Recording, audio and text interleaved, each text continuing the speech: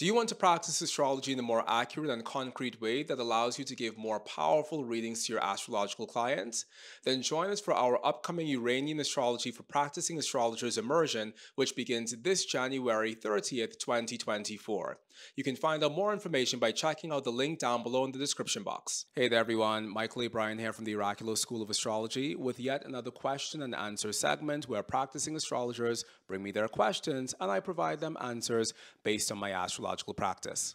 Okay, I have a question. Um, as, in, as you mentioned in the last class, you showed us some memory training, which was incredible and really exciting. And so I have a question for you about um, other types of memory training in um, when you're learning astrology, because you have such an incredible recall of aphorisms and quotations and facts and and the planetary combinations.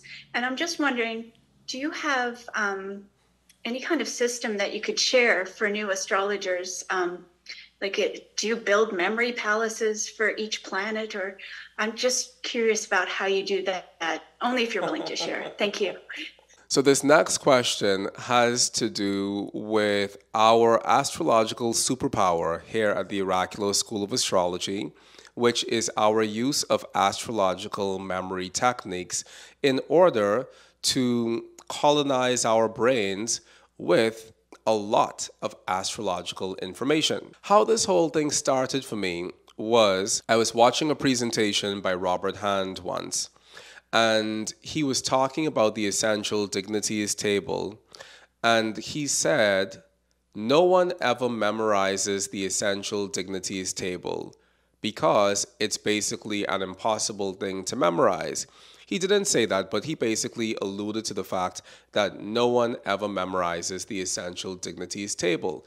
And instead of memorizing it, what we should do is print it out, laminate it, and keep it in our top pockets. Now, by the time as I was born, people had already stopped printing and laminating things. So, first of all, I was like, what's a lamination? and so I had no idea what he was talking about. But what I did realize was that he was essentially saying that this thing wasn't something that was possible. Or I took what he said to mean that this thing is impossible, it's not necessary, just print it out and laminate it. I'm a very Saturnian person, but I'm also a very Plutonian person. And whenever somebody says that something can't be done, that for me is like they're dropping the gauntlet and challenging me to pick it up and do it. So at that point, I said, let me go and find a way to memorize this essential dignities table. Because personally, I like to do things that other people in the astrological community aren't doing. And I think that at Oraculos, we do many things that don't exist anywhere else in the astrological community. And our use of memory techniques within the training of our level zero astrologers is one of our, I don't know, I guess it's a part of the Oraculos advantage. And so I started to look up memory training. I didn't know what I was looking up, but I started to look up memory training. And that took me down a rabbit hole that led me to the feet of someone who was at the time the grand master of memory in the entire world. And his name is Kevin Horsley. And Kevin mentored me in mnemotechnics or memory techniques in order to memorize a vast amount of information. One of the things that he taught me how to do was how to memorize a deck of playing cards forward and backward in less than a minute of time. And that's something that I used to do consistently within my life because I thought it was amazing. Now, I haven't done it in a while because at this point in my situation, I don't necessarily need to be memorizing a deck of playing cards. However, it is a powerful thing to do to see your mind operate at such a high level. So I took those initial techniques that Kevin taught me and I formed them in such a way whereas I could teach my students how to memorize a vast amount of information and how to store it categorically within their minds so that they could recall it at will. And one of the things that I teach my students how to memorize is the Antiscia and the Contra Antiscia signs. I also teach them signs of long and short ascension. I also teach them the triplicity rulers And while I've been threatening to teach people this for years, I haven't actually taught them how to memorize the essential dignities table, even though I myself have memorized the entire essential dignities table.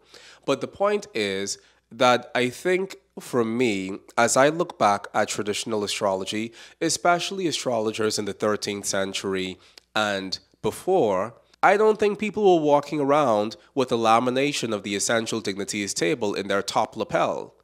And as a result of that, I think it's very important for astrologers, as much as we can, to offload as much of our astrological information in our minds. Now, when I came onto the American astrology scene, which pretty much happened during the pandemic, this was my message to the universe that we should memorize things. And there were people who took offense to that. And I think the people who took the most offense to that were the people who hadn't put themselves in a position to even learn how to do it. And the truth is, mnemotechnics is a very, very, very easy thing. It's ridiculously easy, and it's so easy that it even feels foolish or childish at times when you take yourself through the process of memorizing things. But the point is, it's very, very easy. Anybody could do it.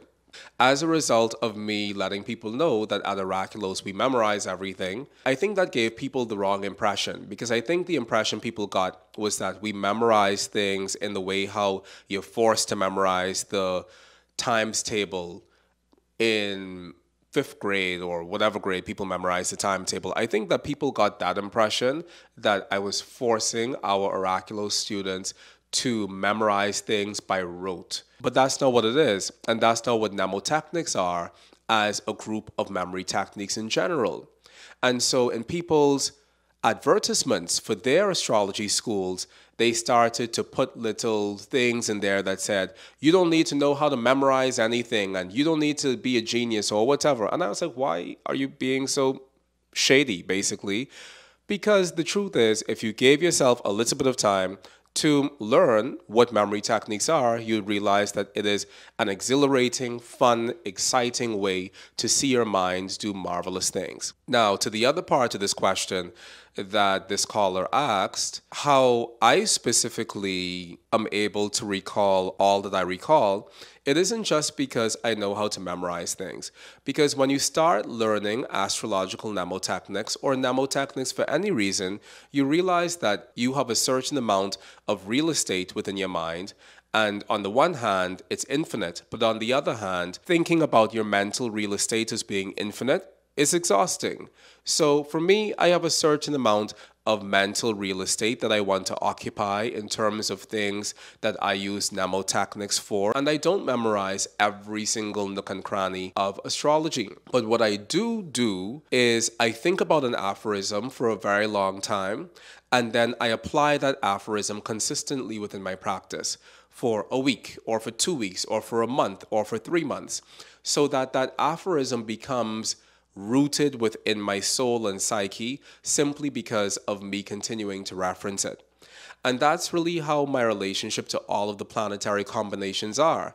When you hear me talking about the various planetary combinations and what they represent, that's not coming from memorization. That's just coming from me having a robust client based practice. And I think that that's actually something that's missing to a very large degree within the astrological community because there are many people who call themselves astrologers today who have no client practice. They have no demonstrable astrological abilities or skills. They've cultivated no astrological powers within themselves that allow them to seem as if they're tapping into something greater than just something that they read in the book. And so I think that the most important thing that an astrologer can have is an actual client based practice.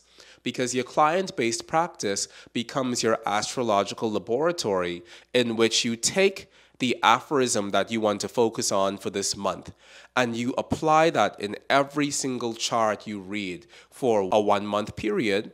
And then you take a next aphorism and you apply that for another one month period. And you do that over and over and over and over again until your mind becomes a treasure house of astrological knowledge. The other thing that I think is largely missing from within astrology today is the importance of astrological research. We need to centralize research more, and we also need all of us as astrologers who practice astrology with clients to view our client practice as a field of astrological research. For example, many people know my moon Chiron fixation. I hated Chiron for a long time. I thought people who used Chiron were the stupidest people in the world. And then Chiron bulldozed itself into my astrological practice, and it did so in a very specific way. And it did so in terms of people who have the moon Chiron contact. And 9.5 times out of 10, when somebody has moon Chiron within their chart, they have a grotesque maternal story. My mother didn't love me. My mother wanted a boy, but she got a girl. My mother wanted a cat, but she got a child. My mother locked herself in her bedroom and said that she'd commit suicide. My mother locked herself in the bedroom and actually did commit suicide. My mother was on horse tranquilizers because she was mentally unstable. My mother had bipolar disorder. My mother had schizophrenia all of these harrowing things happen when people have the moon Chiron contact. That knowledge is written in nobody's book. I don't think it's written in somebody's book. Maybe it is written in somebody's book. As many of you know, I recently interviewed Melanie Reinhart. I think she is a gem of gems, and she's the person who essentially was the first person to talk about Chiron in the West in an actual astrological conference setting. So probably she wrote about it. But when I told her my Moon Chiron research, it was surprising to her as well. So the point is, very often when this Moon Chiron piece comes up, it manifests in that specific way. Very often, when people have Mercury Chiron, they're afraid of public speaking. They're also afraid of travel. They're afraid to get in the plane. They're afraid to drive a car. They're afraid of mercurial endeavors, but they're definitely having a fear of speaking. That's something that I've also found. I've probably found that to be true eight times out of 10. Where I found the Moon Chiron to be true, 9.5 times out of 10. And I think that as astrologers, we need to have that. like, we need to know the things that are true more often than not. And we need to know the things that are just bullshit. And there's a lot within astrology that's bullshit, actually. And you'll never know that unless you actually form a concrete client based practice for yourself. So, the moral of this very long rant is that one, you are infinitely capable to occupy and colonize your mind with a wealth of astrological information. It is a delightful thing to see yourself holding this information within yourself without having to reference books about it. It is a wonderfully empowering thing to learn memory techniques because they broaden the parameters of what we think is actually possible for us. But outside and beyond of the realm of learning specific techniques that allow you to have that information in your mind, the only way, the greatest way for you to actually develop a magical relationship with astrology is for you to practice astrology with people, is for you to practice astrology with clients, is for you to dedicate yourself to actual astrological client work. Looking up the chart of Jennifer Lopez does not qualify as actual astrological client work. Looking up the chart of Beyonce doesn't qualify as actual astrological client work. Looking up the charts of celebrities is the most boring thing in the world, which is why we don't do it at the Oraculos School of Astrology. You will never see me give a conference lecture with a celebrity chart because it is the most non dimensional thing in the world because anybody can talk about Michael Jackson after Michael Jackson has died.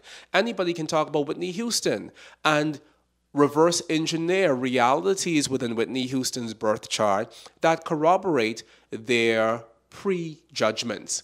But only when we work with the charts of people who we have access to clients, family members, friends, people in our immediate locale who we can speak to, have a conversation with, corroborate information with, only when we work with the charts of people who are actually within our lives do we actually have the ability to grow true astrological skill. So if you're looking at celebrity charts, I'm not the boss of anyone, but I must tell you that you're doing no favors to yourself. You need to get up off your behind and go out into the world and find a client and work with a client and actually do astrological work with people. Put yourself in a position to be wrong. Being wrong as an astrologer is one of the best ways to grow as an astrologer. Every time I've ever been wrong, I remember.